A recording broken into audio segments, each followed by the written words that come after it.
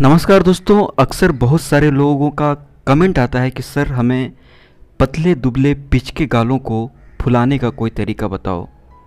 Pitch के गालों को, धसी आँखों को ठीक करने का, चेहरे को खूबसूरत बनाने का, चेहरे को भरा पूरा बनाने का कोई उपाय बताओ। तो दोस्तों, आज मैं आप लोगों को बिल्कुल नेचुरल पौष्टिक, घरेलू नुस्खा बताऊँगा, जिसके सेवन से आपके पतले दुबले पिच के गाल जो हैं वो भरने लगेंगे, आपकी धसी आँखें ठीक होने लगेंगी और आपका चेहरा सुडौल, भरा पूरा और खूबसूरत लगेगा।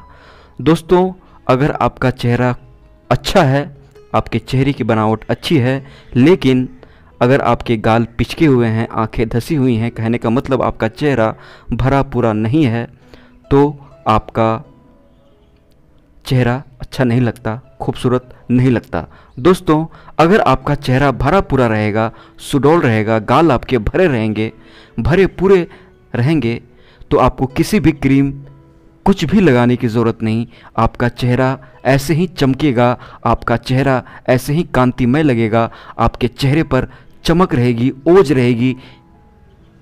दोस्तों, आज के इस वीडियो को आप सभी लोग अंतिम तक देखिएगा। यह लड़कों के लिए और लड़कियों के लिए, सभी लोगों के लिए। दोस्तों, अक्सर पतले दुबले पिचके गाल धसी आँखें यह कमज़ोरी की निशानी होती है। और एक पतला दुबला कमज़ोर इंसान के ही गाल धसे होते हैं। कोई हष्ट पुष्ट मोटा तंदुरुस्त इंसान के गाल पिचके शायद आप लोगों ने नहीं देखा हो, होगा। दोस्तों तो चलिए समय न गवाते हुए सीधे नुस्खे पर आते हैं। यहाँ पर हम जिन चीज़ों का इस्तेमाल करेंगे उसे आपको दूध में डालना है और वो दूध में डालने के बाद फूल जाएँगे और वो आपके पतले दुबले पिच के गालों को फुलाने के लिए बहुत ही ज़्यादा कारगर हैं।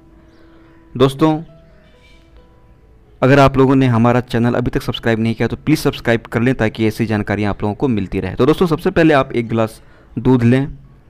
एक गिलास दूध लें। दूध आपको नॉर्मल लेना है।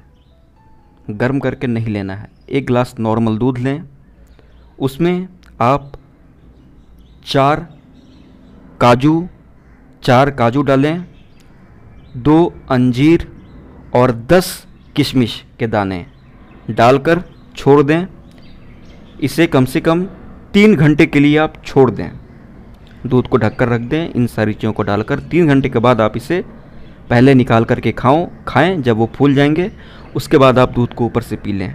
दिन में सिर्फ़ एक बार इस नुस्खे का इस्तेमाल करें रात में आपको डिनर के बाद करना है तो डिनर डिनर के बाद करें, दोपहर में करना है तो दोपहर में करें, सुबह खाली पेट करना है तो सुबह खाली पेट करें।